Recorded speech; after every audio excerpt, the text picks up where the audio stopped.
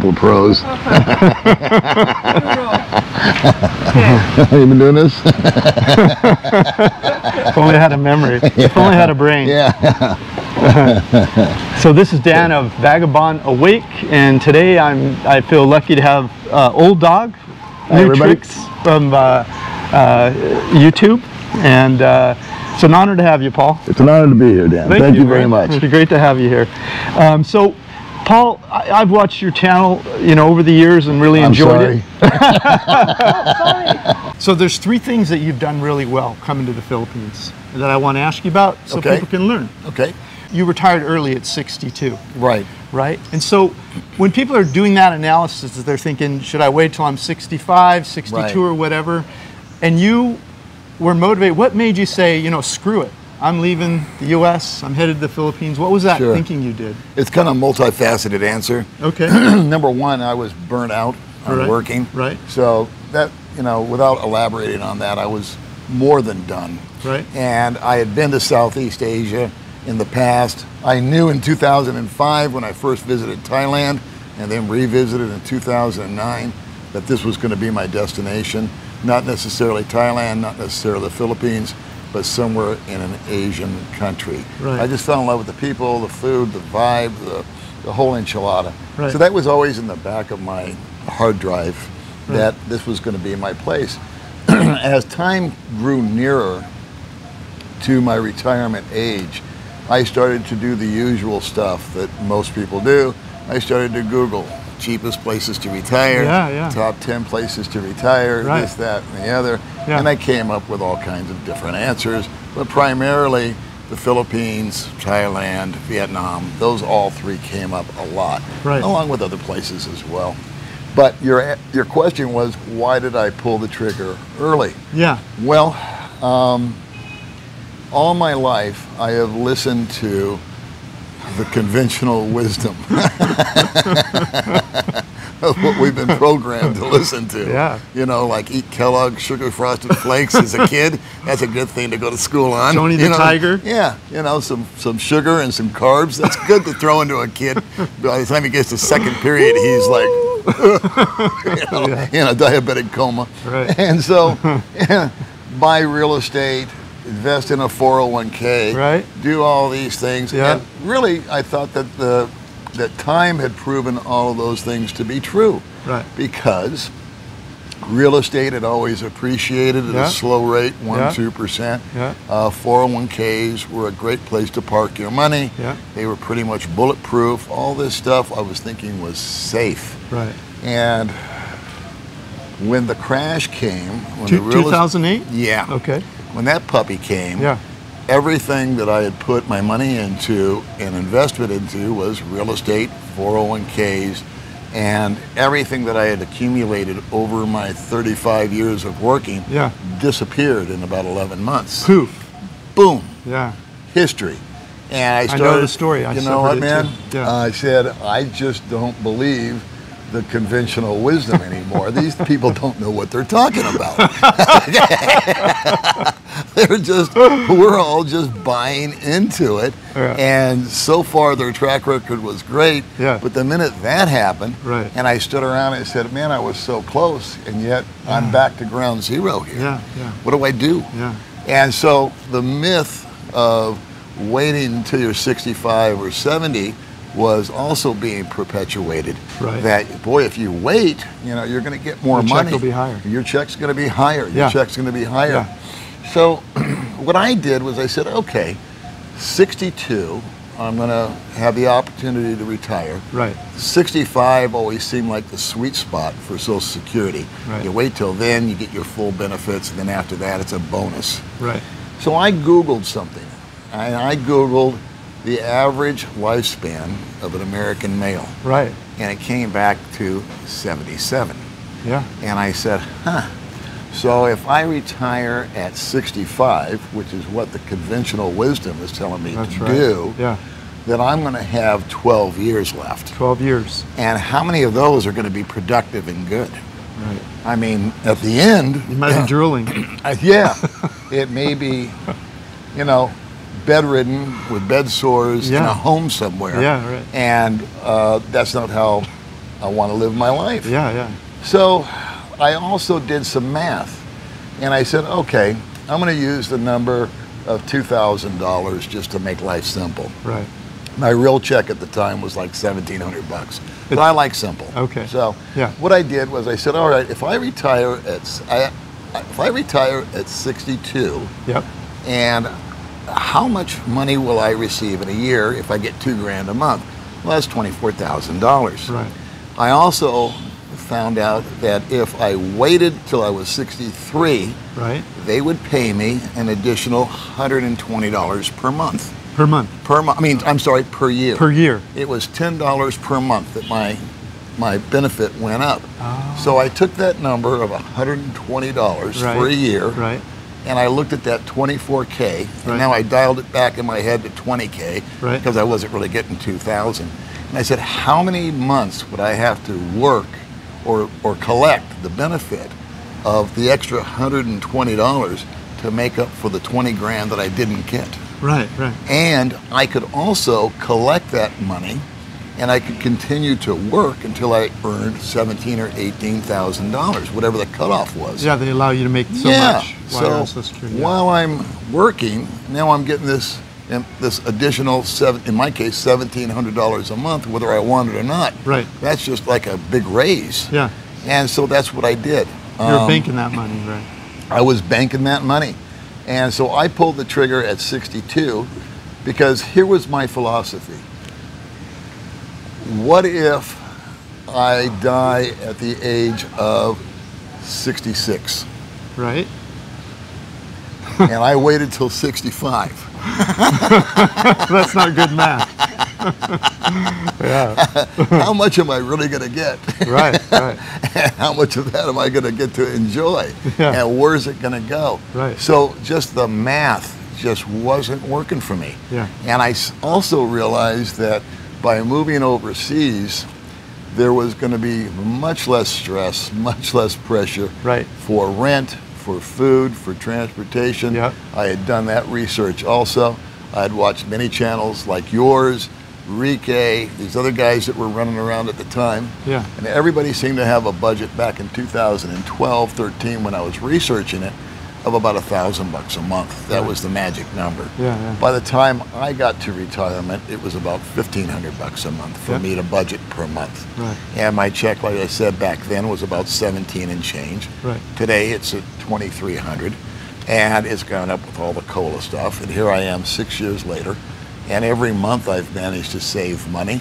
Right. I've had no stress in my life Yeah. because most stress is brought on by financial concerns. Exactly. Granted, we have medical issues that, like chronic pain, is brutal. Right. I've experienced that. Yeah. I totally relate and I totally empathize with guys that are going through that, or women. Um, there's some things you just can't avoid. But what I could avoid was financial stress. So I cleared off my debt with all that extra money. Credit cards were paid. I came over here with zero balance. I had, as far as debt. Right. I had money saved. I had money in my pocket. I landed. I made my mistakes the first three months.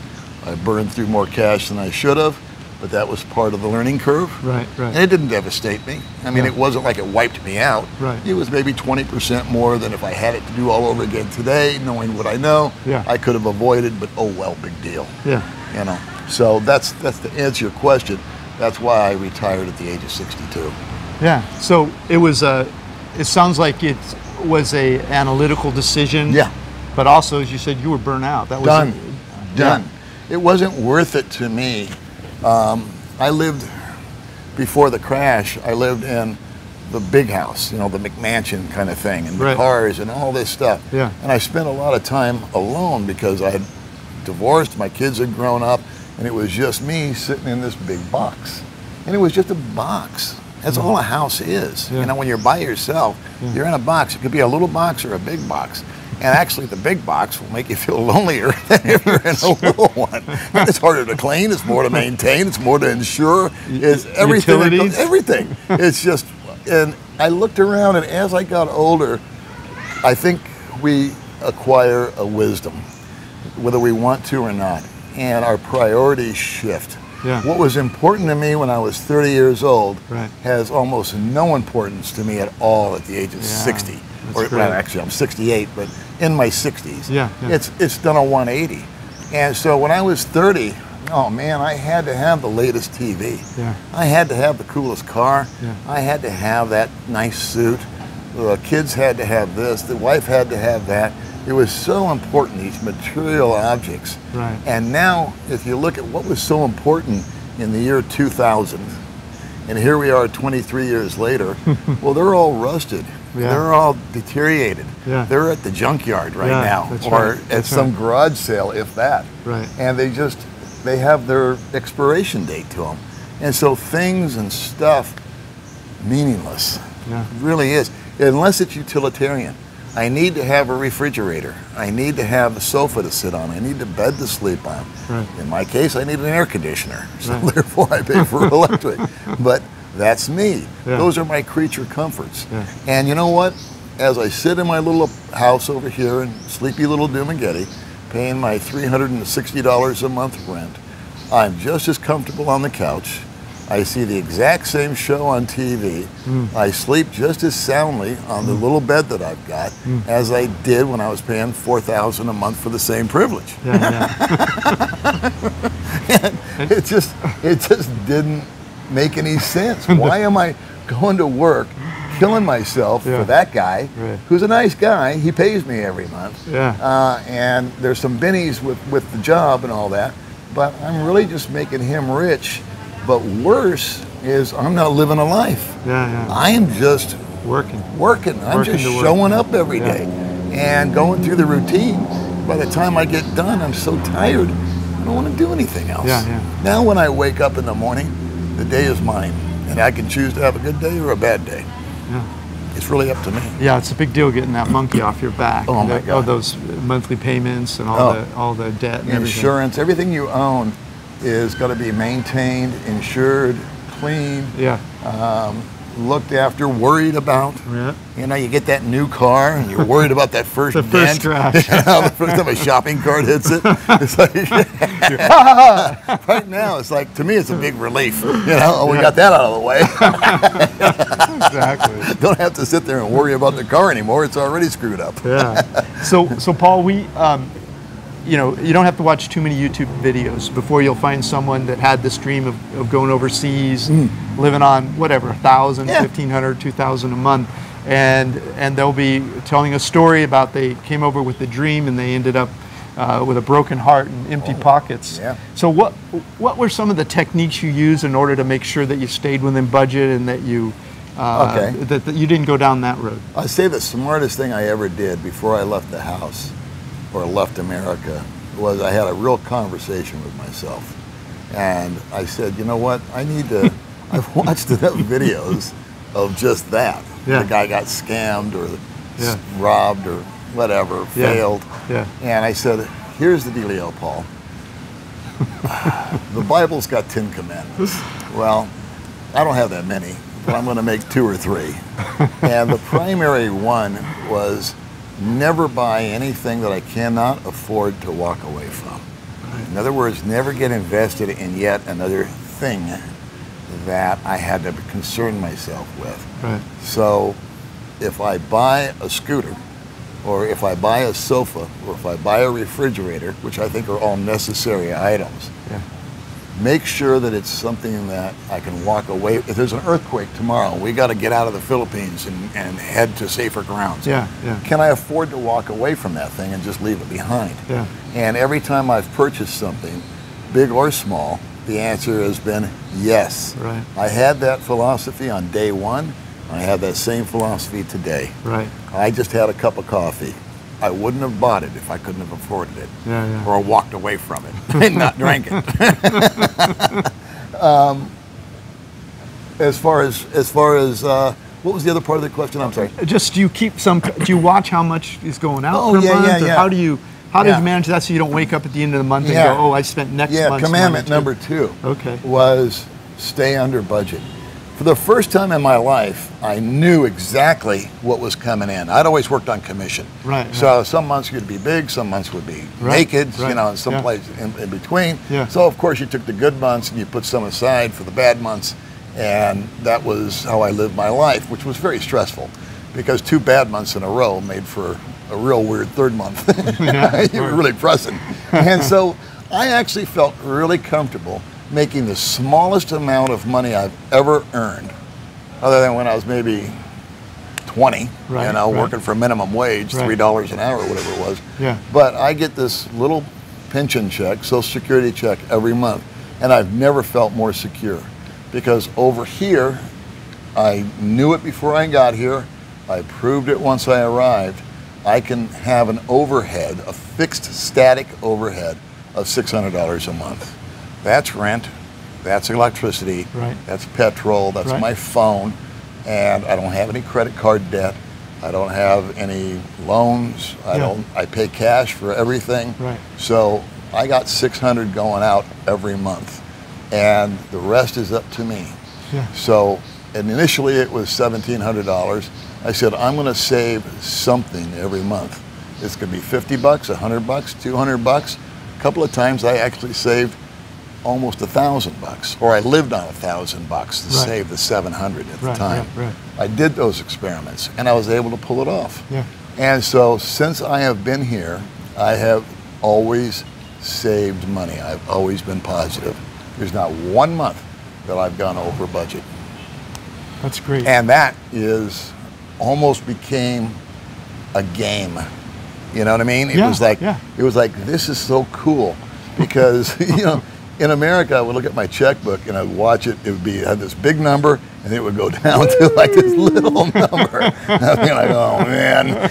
And now I pull up my balance in my bank and every month it just goes up a little bit. yeah, It's not a lot, but it's still in the right direction. And it's like, this is cool. And Yeah. over six years, it turns into a halfway significant number. yeah. It's And it's just a, a feeling of accomplishment. Oh, of it's not like I need to be rich or I need to have a lot of dough or I got to any of that, but I feel very comfortable that if I had an emergency, Yeah. if I had to have surgery, or if I had to fly to America, I could pull it off and I wouldn't have to be begging on somebody Right, or right. wishing I had done it different. It Yeah. was, it's there. exactly. So those are the two things that I, I would call it, I would call it structure and I would call it discipline. I made a plan and I stuck to the plan. Right. And I had the discipline to stay with the plan. Great. And so I would say that was, if you're an undisciplined type of person, um, you, that's where I think guys get in trouble. yeah. You know, they're impulse, emotional. That's right. Uh, I call it kid in a candy store. When they first Yeah. come over here, everything's cheap. They just start rolling, buying drinks for friends, Uh-huh. Out with a different girl every night Uh-huh. or boy, whatever the thing is, and Uh-huh. they run out of money. That's Um, true. So uh, that's great. What I, I found was good for me was if I took my money and I set aside every month, I still, I just did it.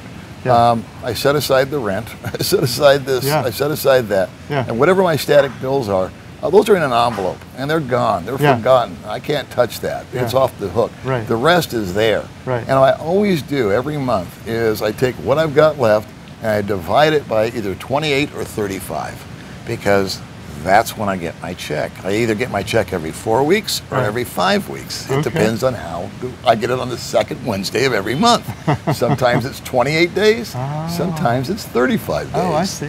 So I can take this 50,000 or pick a number and let's say 30, 35,000 pesos I've got left over. Yeah, yeah. Well, on a five weeker, as I call it, I got a thousand pesos a day, Yeah, right? Yeah. On a 28 that's day, a perfect way to do it. Yeah. Without a lot of thought. No, Just it's, yeah, because a guy like me, thinking's not exactly my strong point. No, that's a So- full. That's a foolproof way to do it. So I know that if Yeah. I went out today and I spent three grand, ooh, I'm two days short. yeah. So maybe I need to just kill it at the house for a day. Yeah. Dial it back. And I'll just let's just let's just down to 500. Yeah, yeah. Let's just keep it down to nothing. Let's just stay home. Yeah, yeah, yeah. Some of my most fulfilling days are the ones where I don't do anything. Oh, I just stay those are the best days. You know what I mean, man? it's raining outside, or it's really hot outside, Yeah. or maybe you got the sniffles or you got a little fever and Turn you on feel a little funky. Yeah, you just turn on the TV, you know, and uh, Yeah. torment the wife. with your with your choice of movie or whatever.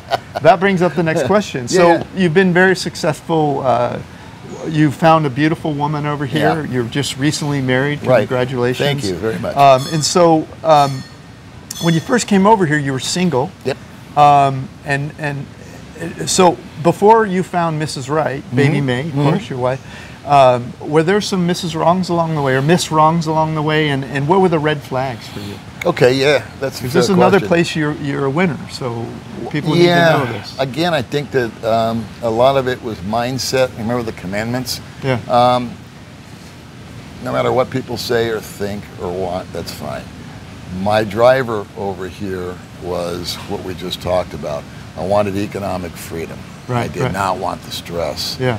As far as romance or women, yeah, I'm a red blooded male. However, I appreciate a beautiful woman as much as the next guy or gal, whatever your bent is. Yeah. Um, however, I was I had gone through without a lot of details because I don't want to disrespect anybody. Some pretty painful relationships that were that left some pretty deep cuts, and they stayed with me. And my last year or two or more, even in America, I lived alone, and I was totally cool. I was happy with myself. Right. I enjoy my own company. Right. I can sit in a room. I don't have to have somebody next to me. Right. I don't feel lonely. Yeah. And so I would rather, bottom line is, I'd rather be alone than with somebody I don't get along with. Yeah. And try to make it work. Yeah. So I was totally chill with being by myself. I, in fact, I enjoyed it. I woke up when I wanted to. I didn't answer to anybody. I, if I was hungry, I ate. If I was tired, I would sleep. Right. If I wanted to go play golf, I went and played golf. Yeah. I didn't have to check in or call or text or pick up a quart of milk on the way home. None of that was, you know, on the radar anymore. Yeah. And I enjoyed that freedom. Uh-huh. And so when I came over here, I thought, I want to keep that freedom. I'm not going to hook up with anybody or get involved. Right, I don't right. want, you know, uh, I don't want that responsibility. I don't want to be checking in and do this and that. Right, right. And so I came over here with kind of a hardened heart when it came to Right, right. a relationship. Yeah. And so it took about three months for that to wear off. because the women in here were so friendly and so gentle Yeah. and so beautiful Yeah. and just so different than what I was accustomed to. They warmed your heart out. uh, Yeah, man, I didn't feel like I was competing with them or that they were trying to one up me with their job or impress Yeah. me with their stuff or Yeah, you know, yeah. that kind of wazoo jazz. Yeah. And so I was actually introduced to a lady by my neighbor. Right. And I said, I said, yeah, sure, I'll, I'll meet her. And so she came over. I didn't know she came all the way from Mindanao. She took all this a boat and a ferry and everything else. Right. And basically, they were setting me up for their friend, and they knew all along it was a little bit of conspiracy that they were under the impression that I was the millionaire foreigner, and they were going to hook their friend up with him. So you were the mark. I was the mark. Yeah, that's right. And without getting into all the gory details, there really weren't a lot of gory details. It's just that it took me two or three months to, for me to realize that I would give her a stipend so that she had some money in her pocket, not an allowance, nothing like that. It was just, here's some money. I'm going to give you this every week, about 30, 40 bucks. Hmm. That way, if you're not with me and you want to buy a Coke or you're out with the girls and you want to buy a pair of shorts, you can. Right. And I know you don't have an income. Yeah. I'm paying the rent, I'm paying the food, I'm paying this, I'm paying that. Right. And so you're covered there. These are for incidentals. Yeah. And that money just was like a black hole. And every month she wanted more and more and more. We lasted about two and a half months. And I said, you know what? We had the talk two times already. We were halfway through the month on the third month. And we were having the other talk. And she just looked at me with like, z- a vacancy sign was on when I was trying to tell her, you know, we don't just have money to burn. And uh, I'm a foreigner. I'm not a foreigner. Okay, you know, you get that through to your head. I'm not this guy with the car and the house and You're- you know the helicopter pad. That ain't me. You're a foreigner, All not a Yeah, foreigner? Yeah, my check is poquito. What I don't know. How do I get this studio? And so it just wasn't working. And I said, you know what? We're gonna go down together and I don't want to go to the bottom with you. Yeah, yeah. All right. I want to go to the top with somebody. I don't want to go to the bottom with Right, them. right. And I said, we, we're just going to have to call it a day. I'm sorry. And so I gave her, you know, a little bit of money and said, there you go. Bye bye. See you later. Bye. Yeah. And so uh, that's a red flag we hear about all the time online. It's uh, money pits. if you will. Yeah. And so, um, how long were you? Uh, how did you meet Baby May? What happened? Uh. Okay. Well, I was, I rem- after that little incident, Yeah, yeah. well, okay, Paul, lesson learned. Let's go back to square one where we got off the plane, and I just remained single for two years. Oh. And so I would I would date an occasional person here and there. Okay. And um, I just they were pretty, they were young, they were this, they were that, and I just didn't connect with them. Right, right. And a lot of it was because of the age group. Right. It was like they were girls were in their mid 20s or whatnot, Right. and I'm in my 60s, and I just couldn't relate to them. They couldn't relate to me. Right. And a beautiful woman is a beautiful woman, but that's that doesn't mean that it's going to work and you're, that you're going to make it work because you want to have this trophy on your arm. Exactly. And it gets to the, I said to myself, do I see myself with this person in a year or three years or five years? Yeah. And so we would just be out to lunch, uh, or we would just be out to dinner, Yeah. or we would just be having a coffee or a beer or whatever her thing was. Right. And we'd be talking or not talking in many Yeah. cases. And I would say, no, the answer is no. Yeah. And whenever I met them or they were introduced or we got together in any way, shape, or form, Right. they would always say, Are you looking for a girlfriend? And I would say, Nope, I'm not. I was yeah. always honest. Yeah, yeah. I was because I wasn't, and I was always truthful. And I said, "Now you know." And the funny thing is, is that that almost had the reverse effect. It was almost like a challenge. Yeah. Like, oh, this guy's different. Yeah. You know, he doesn't. He's not feeding me the same line that the other guy did. Right. And it was almost. And it was real. It wasn't like a takeaway that you Yeah, it was. It was the It real just- deal. the real I, deal, yeah. I watch guys that really make me ashamed because they say, "Oh yeah, I'm gonna, I love you, and I'm gonna do this for you, and I'm gonna do that for you, and you want a baby, I'll give you one, and we'll get married one day, and we'll go." Now, why are you doing that? Yeah. Why? Why don't you just be honest with her? And you're doing more damage than good here, pal. Sure. That's not a good way to live. Sure. Just tell the truth. Because when you lie, now you've got to come up with 15 different stories to back up that lie. Yeah. All right, we've all lied. We've all done it. Yeah. And it's not a good way to start, and Yeah. it's certainly not a good way to live. So there is such a thing as a white lie, you know. Like, do these jeans make me look fat? No. Those are nice looking jeans. Somewhere in the middle. But uh, so yeah, just I was just honest with people. And then how did I meet Baby May? I was the third wheel on a dinner date. My Right. friend and his girlfriend were having dinner. They invited me to come along. Yeah. So I joined them for dinner. And the date, I was meeting her for the first time, my friend's girlfriend at the time. And of course, her first question is, Are you single? And I said, Yes. and then the Filipinas, which are just born again romantics from the tip of their toes to the top of their head, man. totally. It's just unbelievable. Yeah. And she said, Well, why are you single? I said, Well, I haven't met anybody I liked yet. You Uh-huh. know, it's, it's, that's, that's the truth. And she said, Well, I know somebody that I think you would like. And that turned out to be Baby May. So we were introduced on a blind date. Yeah, yeah. Yeah. that's nice. Yeah, the, a lot of people meet online or whatever, and you met through Mhm, friends. So that's that's a mhm. lot of that happens. I've noticed. Uh, if I'm not with Qiang and I'm walking around in a market or something, people are, "Are you single? Are you single?" Uh-huh. I can see it's like the the, the Philippine uh, mantra. You know, single Honest. men need to be. May asks it when Yeah. she meets one of my friends. Yeah. She goes, Are you single? Yeah, yeah, That's her first question. you know, you don't have a girlfriend? Why not? exactly. Again, a born again romantic. They just love love. They just love romance. they just don't think anybody should be alone. Everybody should be a couple and happy. Right. So, so once you met, met uh, Baby May, was Yeah. it um, was it love at first sight, or was it? Did you have to go through some bumpy roads before you got to Easy Street with her? It was yes and no. It was Yeah. love at first sight, yeah, because I just found her to be so beautiful. And um, just something about her look just hit my eye.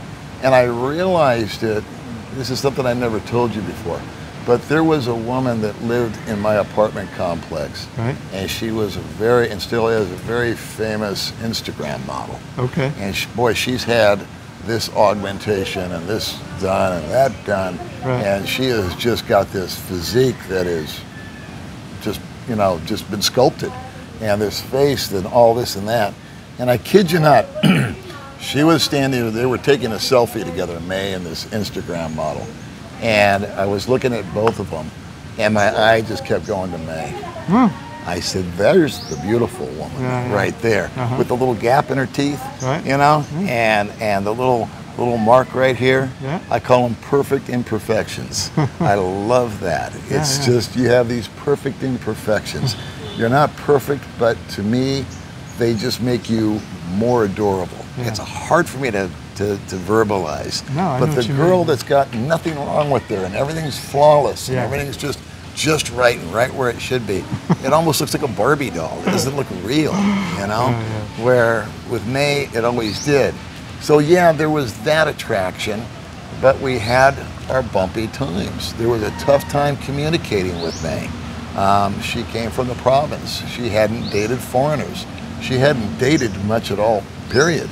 She had primarily just worked the majority of her childhood in Manila as a housekeeper, supported her family for 16, 17 years, sent every check that she, or paycheck that she got, or cash rather, Right. home. Yeah. Kept a little bit for herself for her day, one day off. Right. And on her one day off, she'd maybe go out and buy a Coke, or she'd buy herself some little trinket, you know, for 15 or 20 pesos, and that was it. She did that for years. And um, she was the breadwinner for the family. Wow. And so when her and I got together, um, she did not have a lot of life experience. And that was a little tough for me to get used to. Right. And in the beginning, I was with her and I said, you know what? I just don't think this is working. And she said, okay. And away she went. And she was gone for about a month. And you know what? I couldn't get her out of my head. And then one day, out of the blue, she just called me. And she said, you know, I was thinking about you and uh, uh, maybe we could get together. I said, yeah, why not? And so come on over, come hang out. And we hung out again. And believe it or not, after about two weeks, I said, "Eh, it's just doesn't, you know, I dig you, but we're not connecting in some way, shape, or form. Right. Right. Spent another little bit of time apart. She was now in Dumaguete because she was working with her sister, so she was no longer in Siaton. And she was around and available. And then we got back together on a third time. And I don't know if she changed or if I changed or if we both changed, but all that seemed to dissipate and go away. Hmm. And the communication seemed to improve a lot. Right. And she was very suspect at first and this and that and the other. And that dissipated. I think she talked to her sisters. She'd never been with a guy like me before, a foreigner, Right. an older guy. Right. You know, um, the, like I said, they all think we're millionaires, but that was never her thing. She just said that, that she she loved me for me, and she never asked me for any money or any of that kind of stuff. And she just had these qualities, these morals, these characteristics that I was really in tune with. I go back to my Instagram model. You know, I don't only see her physically that way, but I also see the inside of her that way. Yeah, I see her as just being head and shoulders above anybody else that I ever encountered Right. right. on all kinds of levels. yeah. Yeah. That's a great. Uh, that's a great. Having that perception, it's clear why you're. Well, I gave it two years of being single too. Yeah, yeah. And then I gave it about six months of, of Yeah. stop on again, off again. And then it was another several months before she cohabitated with me. Yeah, and- so we took our time. We slowed Yeah. down. We did not rush in, you know. Yeah, there's. I think in another conversation we had, you talked about how some people just come over with the desperation. They just come over to meet someone right away, and Yeah. they need someone with them all the time. I think it's Yeah. also the fact that you, you know, you were just centered in yourself and you took the time to really look at what, what you wanted in your life. So, Paul, you have a, a very successful YouTube channel, and it's fun to watch. Um, the you do it seems like you do two kinds of things. You, you do what I call a monologue, where you just start talking. You turn on the camera and Yeah. start talking, and you do interviews. I, I want to talk first about just about the um, when you do these monologues. Yeah. Where do you get the inspiration for this? What what is that mental process? Uh, the atmosphere Okay. is where it comes from. Right. It just comes into my head. Is it Martians? You think or I don't know. Rain? Well, I have a lot of little friends that you can't see. they give me ideas all the time. There's one right now. Okay. Stop it. God, I hate it You when said does- you'd be quiet during I- the interview. I hate it when he does that. no, but I'll be hanging out, and I just, I'm not really thinking about doing a video or anything like that. Yeah. And I'll listen to a song, and I'll put on something like Bob Dylan. Right. And I've heard the song a thousand times, Right, right. or an old Beatles song, or whatever I like. Yeah, yeah. Just whatever mood I'm in, Bonnie Raitt, could Yeah. be anything. Yeah. Um, and all of a sudden, I will hear a line or a lyric that I've heard a thousand times, but it takes on a new meaning to me. Right, right. Or someone in conversation will use use some sort of um, they'll verbalize something. Right. And I'll say, say that again. You know, Mhm. let me investigate that. Right. And that's not a word I normally use, and I'll get into the meaning of that word. Yeah. And then I'll, I'll associate it with maybe a person, a place, or a thing. And then in my own head, because when I was a kid, I always had this crazy imagination. Right. And I spent a lot of time alone when I was a kid. I was sick for a year, had to stay at home. So I had to entertain myself. And I think that's probably the genesis of it, is that my imagination is a little more active than most. Right. And I have this self-reflection thing that I like to do, a gut check, where can I be a better person? What did I do right? What did I do wrong? Right. Try to analyze each day. Yeah. And out of that, somewhere, that soup, sometimes will come a video. And I'll say, you know what? I think that's an important topic to talk about. Yeah. And I think that those are some buzzwords that people will associate with. Yeah. And it sparks my imagination. Yeah. And I do stream of consciousness. I don't write anything down. Every blue moon, I'll make a note if I'm talking about numbers or something. But for the most part, I just sit down and talk about what I've been thinking in my own head. Yeah.